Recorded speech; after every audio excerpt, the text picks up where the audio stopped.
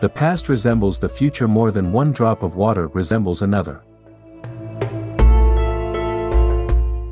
Throughout history many nations have suffered a physical defeat, but that has never marked the end of a nation. But when a nation has become the victim of a psychological defeat, then that marks the end of a nation.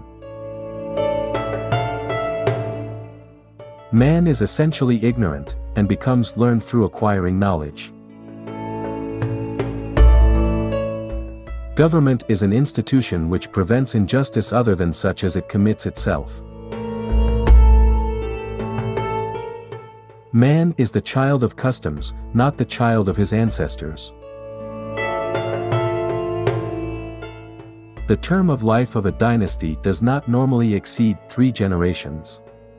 For in the first generation are still preserved the characteristic features of rough, uncivilized rural life, such as hard conditions of life, courage, ferocity, and partnership in authority. Therefore, the strength of the asabiya is maintained.